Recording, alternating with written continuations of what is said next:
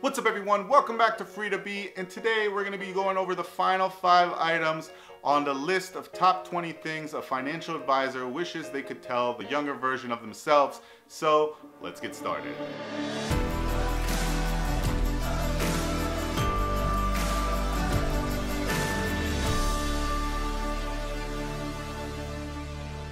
Alright, now as always, if you're new to the channel, don't forget to hit the subscribe button down below and turn on those notifications. We cover financial literacy here on this channel, so you're not going to want to miss any of the content. And if you're not new to the channel, thanks for coming back. Okay, so a few weeks ago, I talked to you guys about an article that I had recently read where a financial advisor who has been a financial advisor for 25 plus years talks about 20 pieces of advice he wishes he could go back and tell the younger version of himself.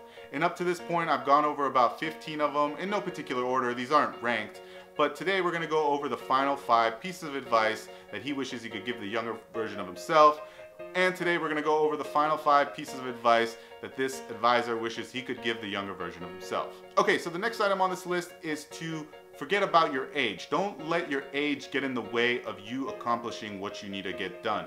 You can still make a difference regardless of your age because it's true. You're never too young to dream and you're never too old for your dreams to come true.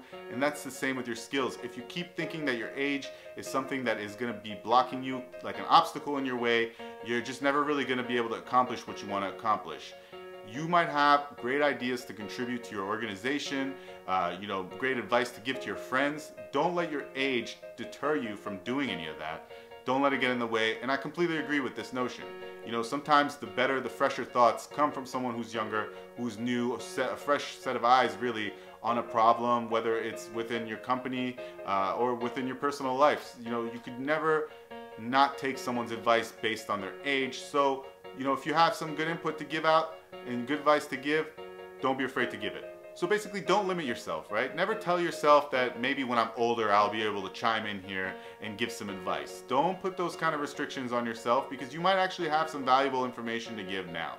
And the next thing here, guys, is to focus on your strengths. We all have strengths. We can identify what those are. If you have something that you're not particularly good at, while I admire that you should you know, focus maybe on trying to get better at that thing.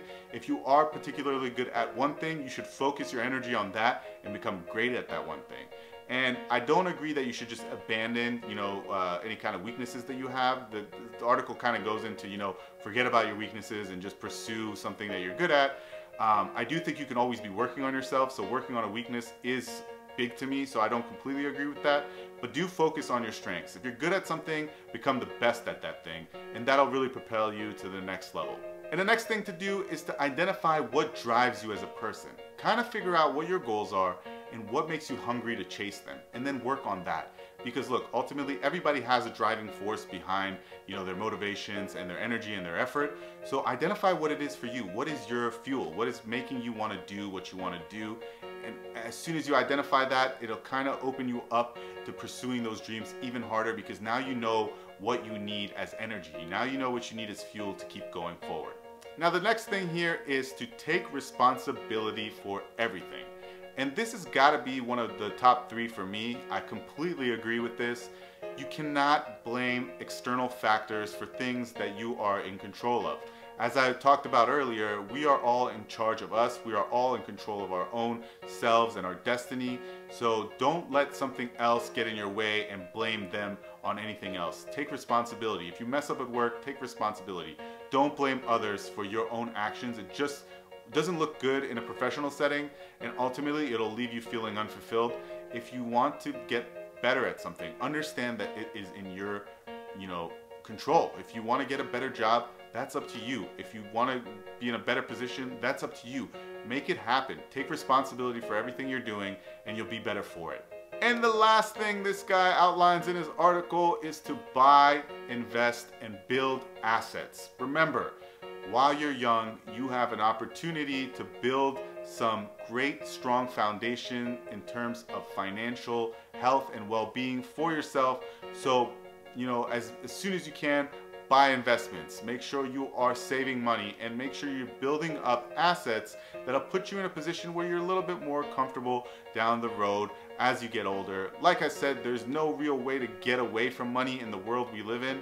So just put yourself in a position where you can be very comfortable with it, that it doesn't have to be the first thing you think about when you get up in the day or the second or third, but it is there in your, you know, peripheral, it is on the back burner, but it's just not something that consumes your life because that's really how you get to that next level of financial independence, financial freedom.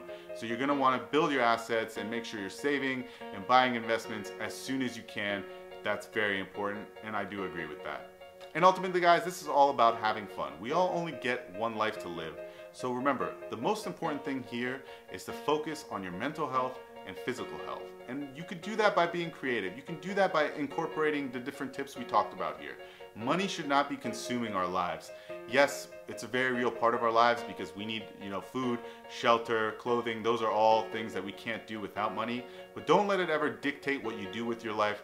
Don't ever let it stand in the way of you achieving your dreams. Um, you know, just do the best you can do and that's it. Take responsibility, take ownership for your own life and you'll be fine. Just don't let it consume you.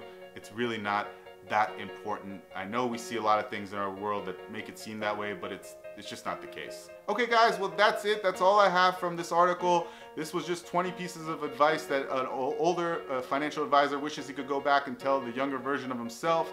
If you enjoy this content and series of videos, let me know in the comments down below. Don't forget to hit the subscribe button. If you like this video, don't forget to give me a thumbs up and we'll see you next time.